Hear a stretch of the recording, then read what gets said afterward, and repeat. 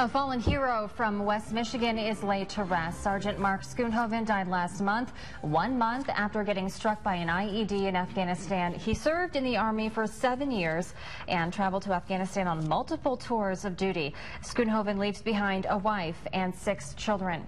Today, West Michigan paid tribute to the Plainwell native with a meaningful funeral and procession. News Channel 3's Shireen Tagarobi shares the final farewell. It's very difficult for them. And, and this fallen soldier deserves to be buried in peace and dignity, and his family needs to see that, that people care. We, we didn't know him, but we support him. He's an American.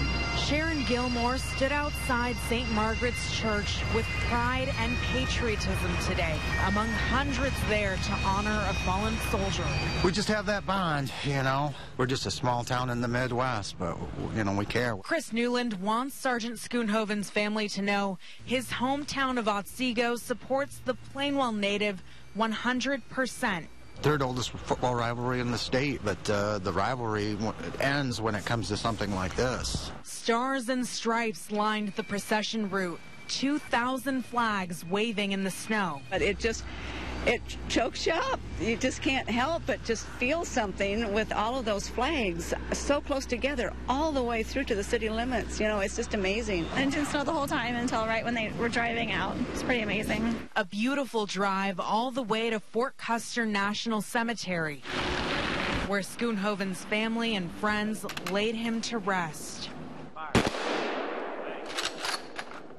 This is the worst nightmare. This is the worst case scenario is that you get that phone call or that car pulling up saying the worst has happened.